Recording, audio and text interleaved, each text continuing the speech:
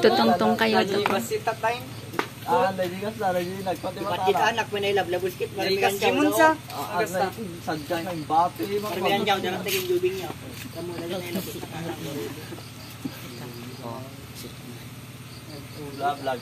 Itawan di kas na kini labas. Labasa. Ha? Wala. Dapat yung kadawat yan. Mga padawat ay pagturturwa. Kaya yan. Ate, di may niya picture ko. Nawala yan. Usapang basketball, natalo sila. Kailangan kilo. Awan, madi namin ah, di kas Jimo. Di ba dapat free ko mga bola kanya yung kada ko kada zone. Sa dabay, ang aming tabagi dyan sa bawal na kayo. Talat di kasi silbong na. Naakan. Nalawag, di ba? Di bote. Ano niya ako niya? May iwan mo office yun. Nyawid mo.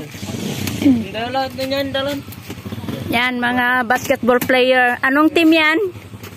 Team Katayawan? Zona lang. Yan, pabakitin naman lang rin. Lola, kung kuna na mo tin. Uwa, Antina. Antik ni Lola. Antik na.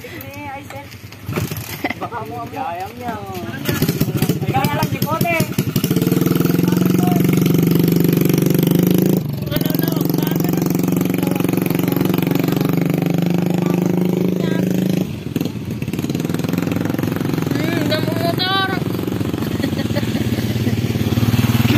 Kanya kayo sila ngayon.